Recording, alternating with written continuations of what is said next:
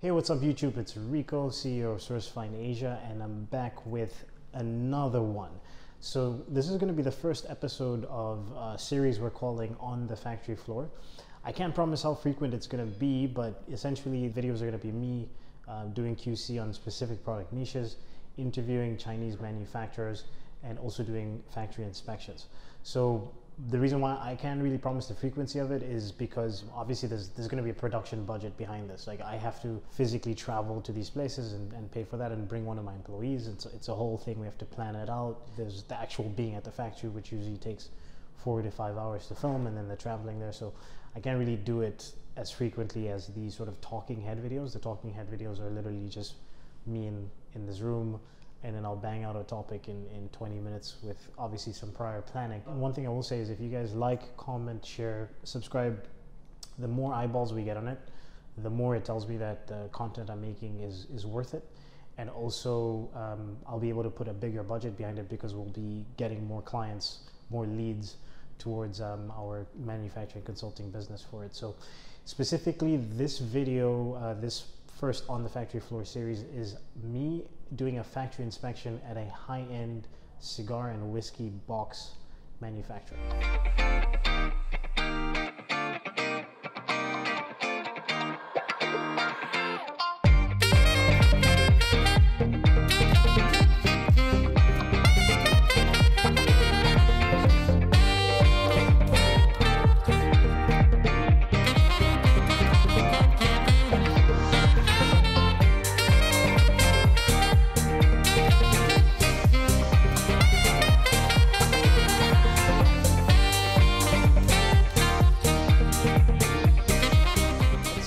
Off with what a typical factory inspection looks like. So typically when you arrive at the factory, right, you get there, you get out of your car, or maybe they picked you up from the train station or whatever. The sales rep is gonna meet you there. Maybe the factory boss if he's available, depending on the size of the factory as well.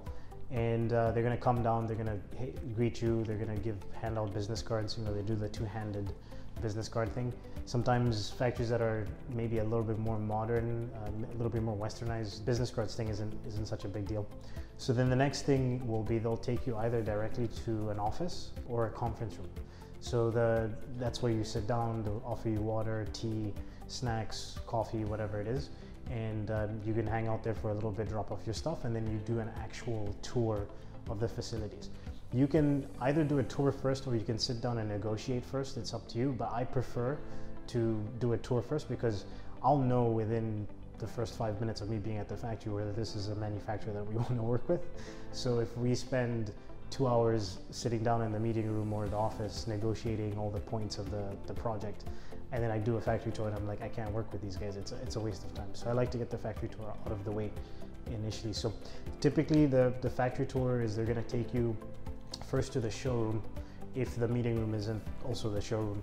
They're going to take you to the showroom, then they'll take you to the main production floor, and then uh, the main production floor should take you into let's say the painting or assembly line and then it should be like packaging and QC line and then shipping so depending on the size of the factory some of these these elements might be different some factories might just be a pure assembly line and packaging because you know they don't do any of the actual workshop work like the wood cutting or injection molding or things like that are not done in-house.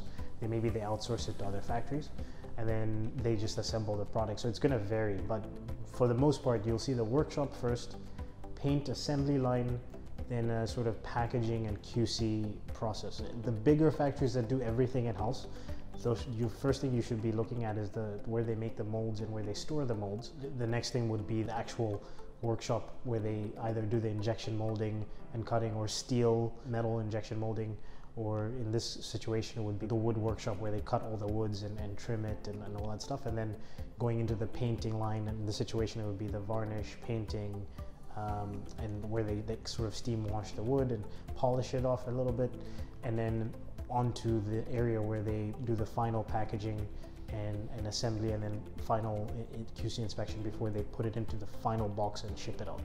So that's sort of the general flow. If it's a larger factory, they're gonna have everything in-house. This factory is not a large factory, but they're very specialized and they do everything in-house. I'm gonna have you guys watch a montage of the things that I just mentioned, the individual rooms, what I'd like you to do is see if you can sort of pinpoint some of the things that I always talk about. Is there a flow to the production? Is it clean? Is does it make sense?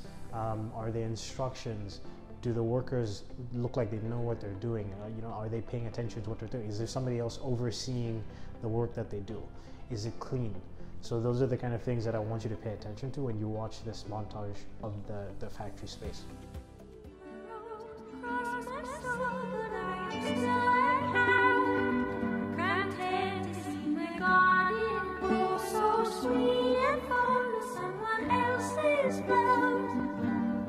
See the thing with relationships, changing a life. I like the way you think, staying the way you did.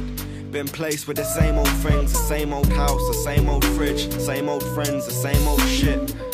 I ain't never been labelled this, and the supermarket won't make me big, so I got out of that one. I remember the days as a child with a cap gun. Me, my brother, and Daniel. Bless. See why love is about you next. Keep my covers around my bed, and it's comfy now. I see my chest.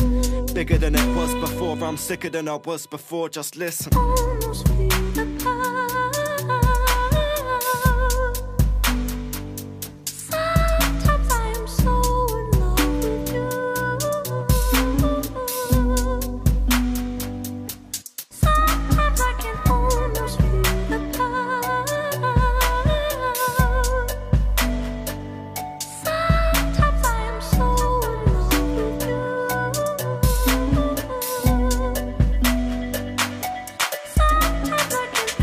Travelling. Pack all my bags and leave and don't come back to this. Cause nothing ain't happening here. Sometimes nothing ain't happening years. And I picture myself in the future with a house, with a girl, and a car, and a tutor. For my kids so they can learn new stuff. Anybody wanna get their views up? Wait. Get me as a feature. Never learned in school, never peace with a teacher. We was alright, but we could have been on so much they could never see what we dream of. So much they was never eager to teach us. So well, that's just the way things work pick up the pace and learn. Oh well, that's just the way things work.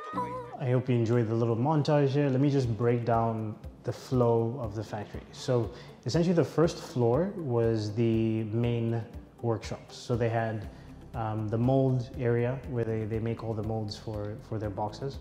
Uh, they design and make the molds there. And then they had the wood, the wood shop where they were cutting all the, you could see the planks and they were cutting them. I, I got a couple of nice shots in slow motion of of the guy sort of putting a plank across the, across the saw.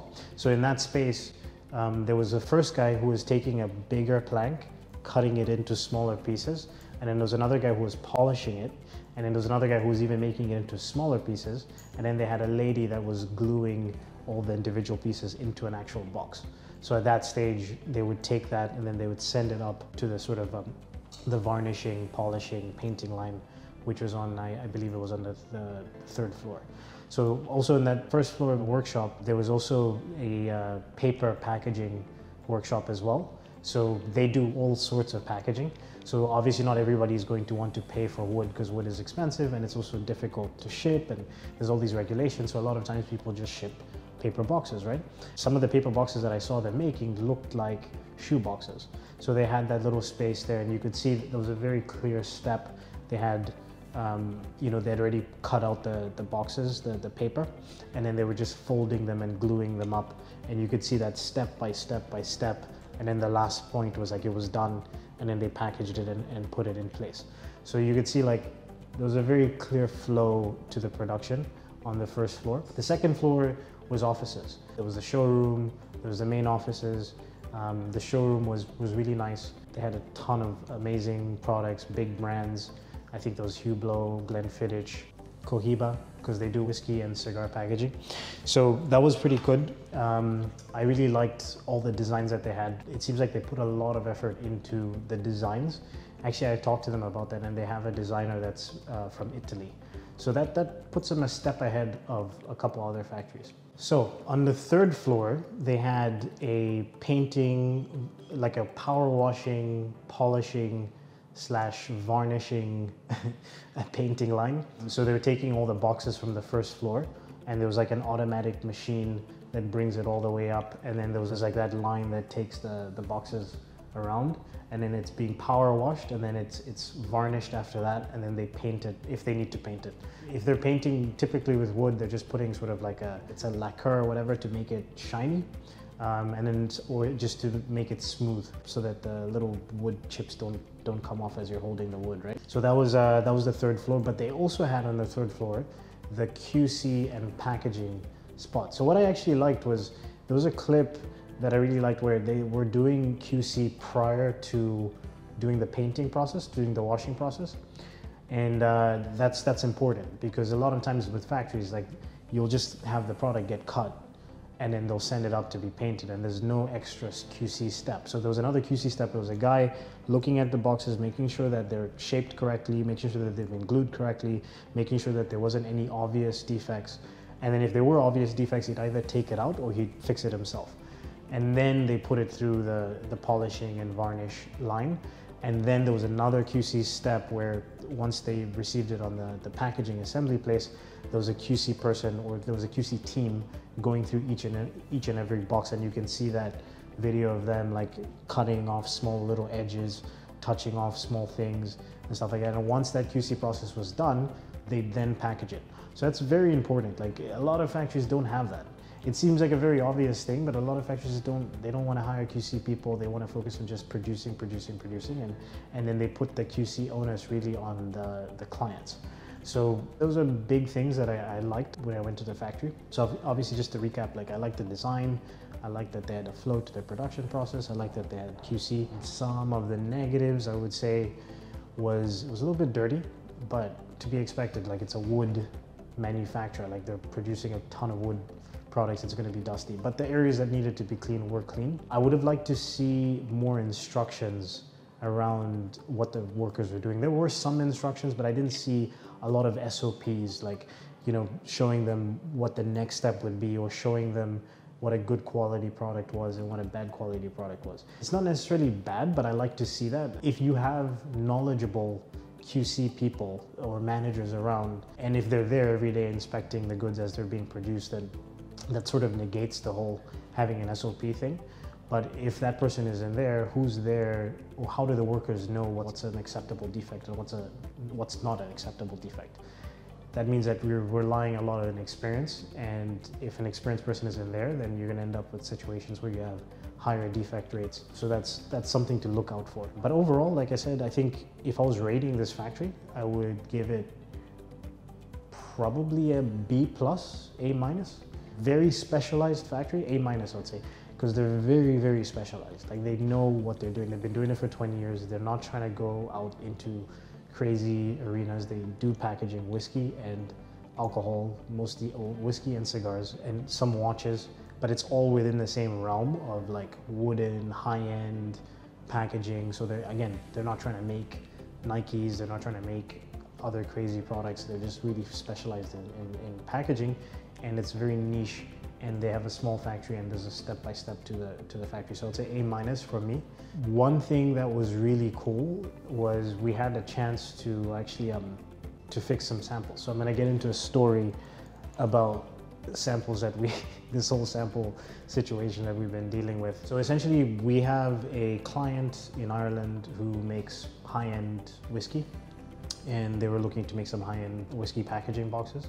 So they approached us a couple months ago. We found a factory in Shandong province that makes whiskey packaging, very, very reasonably priced. We got the design from our client, the dimensions, everything. We made samples with the factory. First samples seemed okay, but we weren't 100% satisfied with them. Like just there's a, some finishing issues, just little things like the metal screws that they're using, the hinges were just off. Like even the cutting was a little bit off. The magnets weren't really working. To, like so, we, want to use magnets to close the box. So the magnets weren't really holding the box. And this is without even the weight of the whiskey bottle inside. So I was like, I, I just don't think it's gonna work. So we asked them to rework them.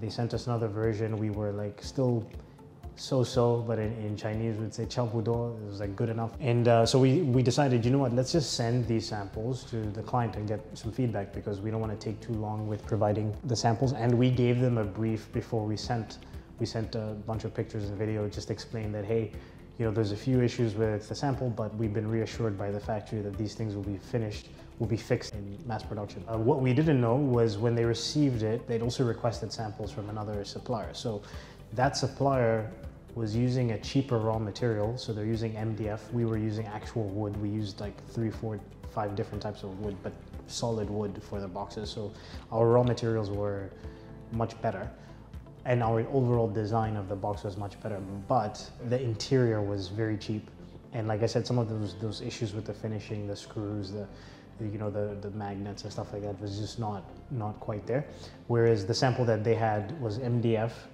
it was they were actually charging more money ironically but the, the finishing was good and it was pretty much a production level sample so the client came back to us and said hey look, we like the fact that you guys are using real wood. We like the overall design of your boxes, but we can't really justify placing an order with you guys because we have another sample that's mass production level. Yours is clearly not mass production level, and we can't go based off of the word of the factory, which we completely understood. So they sent us the detailed feedback. We sent it to the factory. This is the Shandong factory, by the way. The factory that I went to see, the one that you just saw, is in is based in Dongguan. So um, went back to Shandong factory, said, hey, this is the feedback from the client. We gotta get this stuff done. If we don't get it done, we're gonna lose the order. Went back to the factory, they made another version. We got it, weren't happy with the version. They'd improved some of the, the finishing, like the screws and stuff like that, but there was still just the interior was just lacking. So we sent it back, didn't send it to the client, sent it back. So this is, by the way, the third version of the samples. Sent it back to the factory. They said, okay, you know what, we'll, we'll change the construction of the interior. They sent the new interior back like a week later.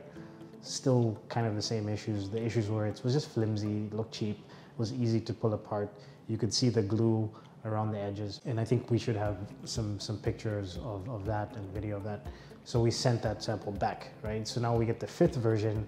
All they did with the fifth version was just add more glue. Like that was the only thing that they did was just add more glue. And we were saying, look, that's not it's not the issue. It's not like adding more glue is gonna fix it. You have to, it's just a finishing thing. Like you, the glue can't be visible. It can't, and adding more glue just makes it smell more. It was just this whole thing. So we were starting to lose faith in the factory. And by the way, this is the fifth version of samples. We only sent um, the second version of samples to clients. So now it's been two to three weeks and we haven't sent a new batch of samples. Luckily, the client's not in a rush for the order. They want to make sure that the quality is on point. So now I decided, you know what, like I think it's time we started looking into alternative options. So luckily, around, it was just random, around that time I had a dinner meeting with uh, the gentleman from the States called Adrian. And, uh, you know, we're talking about business. He's been doing business in China for 15, 20 years because we're both fans of cigars. He happened to mention a factory that does high-end cigar packaging. So I'm like, okay, cigar. What kind of materials are they using? He's like, oh. I was like, could they do whiskey? And he's like, yeah, I think they've done, you know, some brands like Glenfiddich and stuff. I was like, okay, Glenfiddich, Johnnie Walker. All right, let's do it. So he introduces me. Um, this is two to three weeks ago, and we just we made a, a, a detailed document with feedback from the client, feedback from us, what happened in the past, sent it to this new factory, sent them the samples, asked them to give us a quote, see if they can improve on our samples. They came back, they gave us like pictures of samples that they made before that had a completely different interior that looked really good to us. Said we can do this. We had to increase the per unit cost, which is fine. And then, you know, we paid them for a sample. So we get the first version of samples, definitely better. We just got them like a couple days ago, on, like on Monday. It's Thursday now definitely better than our old samples from Shandong, like 100%, like just the finishing, you know, everything. But the overall design and construction was the same on the outside. Inside was an improvement on the interior. The material that they used was better. Um, the way they glued it, like you couldn't, you couldn't see the glue. It was just better. You could tell that, you know, this, this was a little bit more of a specialized factory, but there were still some issues one, we have a plate on the outside of a box that they didn't put on, which was weird because we sent them the sample and had the plate, and even the quote they gave us had the plate included. Um, and then the interior was not exactly what they'd shown us with their previous samples. So then, you know, we're going back and forth for a couple of days. I don't want to go into the details, but in the end, I just decided, you know what, I'm in China. Why am I going back and forth with this factory via, you know, email and WeChat? let's just go to the factory. Like it's a hundred times better to just go to the factory, sit down with them for a couple hours, bang out all the details, show them physically in person. This is why I can't work with this sample, and this is what you guys need to change because the communication you don't know like you don't know how much attention the person is paying to you and all that stuff so it's like me trying to explain all this stuff or even my staff trying to explain it it's just different so we went there the two main issues we had were the interior finishing up the, the lining of the interior and then also the, uh, the the metal plate that's supposed to be on the outside. While we are at the factory they said hey you know what? We can take the metal plate off of your old samples and put them onto the new ones and then we'll CNC the indentation for it, which we have a really, really cool clip of them them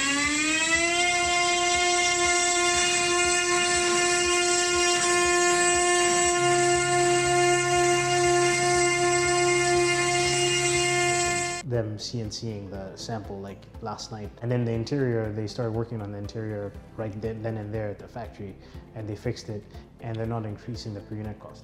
So, so that's just one of those lessons where it's like, when you're outside of China, you're communicating these things. You think you're giving as much information as you can possibly give, and you're wondering why. Why don't you understand? And then when you just go there, it gets done. Like we had a 10 minute conversation where I showed them the pictures that they sent me before. I showed them, they showed me samples that they have in, of their other products. I was like, we want this. You've done this. It's like 80% there. We just need you to take it another 20%. And then with the plate thing, they were like, oh, you need to pay for mold. I was like, well, we already have plates from before. Why can't you use those? And they were like, oh, yeah, we can use those.